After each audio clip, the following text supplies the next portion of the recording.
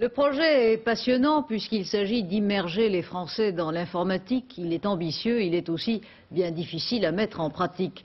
Jean-Jacques Servan-Schreiber, président du Centre mondial informatique, a annoncé un plan interministériel de 5 milliards de francs qui vise à équiper de micro-ordinateurs la plupart des villes françaises pour que leurs habitants puissent se familiariser avec ces technologies.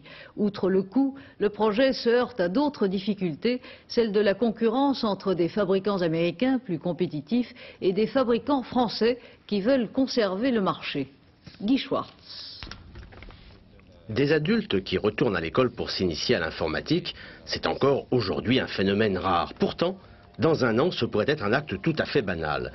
Pour cela, il suffirait que le projet de Jean-Jacques Servan-Schreiber, président du Centre mondial informatique, soit approuvé par le gouvernement.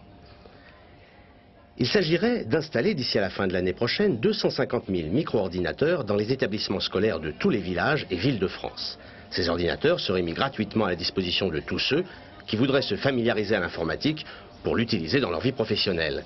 Si l'idée est louable, elle pose plusieurs problèmes. Un problème financier d'abord parce qu'il faudrait dégager sur le budget de l'État quelques 5 milliards de francs, mais surtout elle pose un problème politique.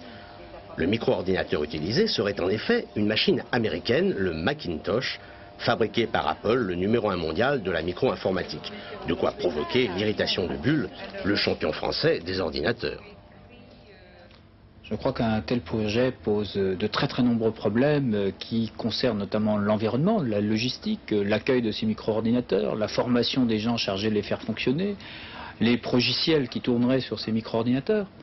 Pour notre part, en tant qu'industriel et avec euh, notre partenaire Thomson, nous sommes prêts à examiner tout projet et à faire tout ce qu'il faudra pour, dès lors qu'il s'agirait d'une grande ambition nationale, pour la faire réussir. Apple est un excellent concurrent, nous admirons beaucoup ses produits et son dynamisme, mais nous-mêmes, nous sommes en train de lancer un produit que vous voyez là, qui est à nos yeux tout à fait excellent, qui a bien des mérites, et nous entendons le faire réussir sur le marché français. Apple, de son côté, reconnaît que la bénédiction des pouvoirs publics ressemblerait à l'introduction d'un loup américain dans la bergerie française de l'informatique. Il y a un loup beaucoup plus gros que nous, 40 fois plus gros que nous, qui s'appelle euh, IBM, qui est à la fois dans le domaine de, l'informatique et des télécommunications. Et je crois que Apple représente peut-être pour l'industrie française euh, un contrepoids utile.